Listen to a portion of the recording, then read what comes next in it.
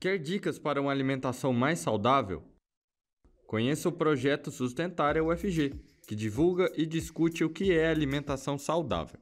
O objetivo é sensibilizar e implementar mudanças em todos os níveis de decisão para melhores hábitos alimentares. O projeto promove palestras e produz conteúdo explicativo sobre o tema. Siga o Instagram, sustentariaufg, é e não perca as dicas e eventos desse projeto.